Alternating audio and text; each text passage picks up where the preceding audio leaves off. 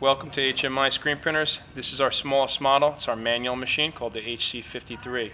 Manual because you see the 5-inch screen frame here. You would manually screen print, lift, take off the substrate.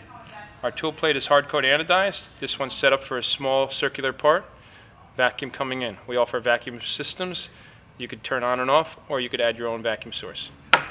Underneath this tool plate is a vacuum chamber, so you could hold down any part up to about a 4x4 on this machine.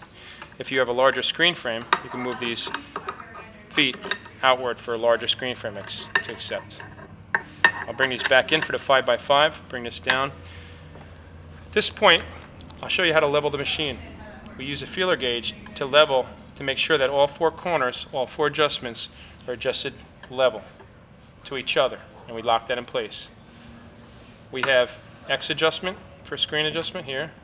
You can see the screen moving in this direction.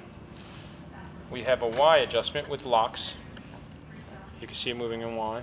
And we also have a theta adjustment. Theta moves the screen about the center of the tool plate. Once you're adjusted, you lock all these in place. Have my ink on the screen. I make my print on my substrate, pick it up, turn off the vacuum, remove my substrate, load a new vacuum part on the vacuum, turn it on, drop, print, and go. Thank you very much.